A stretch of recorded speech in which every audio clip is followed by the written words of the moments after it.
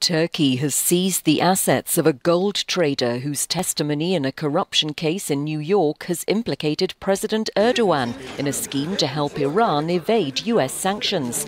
Reza Zarrab is cooperating with US prosecutors in the trial of a Turkish bank executive who denies helping Iran launder money.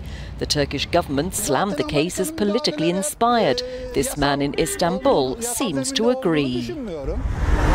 I don't believe America's interventions are based on the law. It's an economic sanction, a way to clamp down on Turkey. They want our economy to collapse. They don't want Turkey to progress. The case has aggravated tension between Turkey and the US allies in NATO.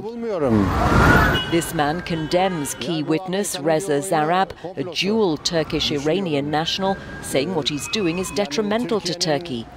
I think this is an American game, a conspiracy.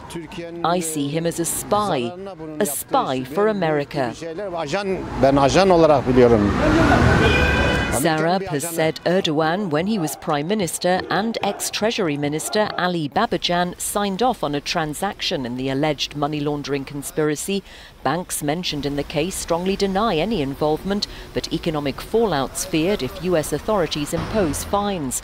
With Zarrab's testimony also implicating several former Turkish ministers, some believe this case will be used by the Erdogan government to rally nationalist support.